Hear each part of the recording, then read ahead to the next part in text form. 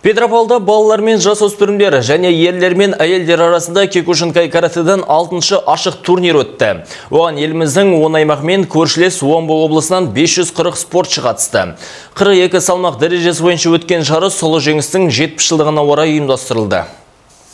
Қас қатар тізілген мына балғындардың барлығы жарыстың басталуын асыға күтуде. Еліміздің 10 аймағы мен көршілес Ресейдің Омбы облысынан келген 500-ден аса қатысушы ең алдымен солтүстік қазақстандық каратэшілердің өнерін тамашалады. Кейін қос татамиде қызу тартыс басталды. Солардың біріне Шахтинск қаласынан келген 9 жасар Рамазан Хайрулин шықты. Ол Петропавлдық спортшымен өткен кездесуде өзінің басымдығын бірден көрсетті. Бірінші ойындар қиын болған жоқ.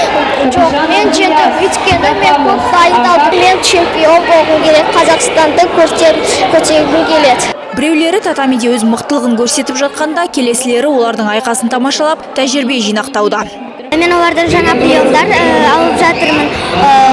Олардың қателіктерін қарап жатырмын. Олар маған жақсы көмектеседі деп жалпы бұл жарыс 42 салмақ дәрежесі бойынша өтті. Ол жеңістің 70 жылдық мерейтойына орайластырылған додаға алматы қаласы 12 спортшысын әкелген әрбір бала екі қарсылас шыққан кезде олар екі минуттан сайысады екі минуттан спарринг жарыс.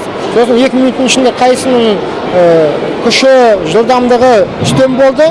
Соған қарап мынау төрешілер соның шешімін жасайды. Жеңімпаздар кубок диплом және медальдармен марапатталды. Мағжан ахмазина владимир боровков муниципалдық телеарна.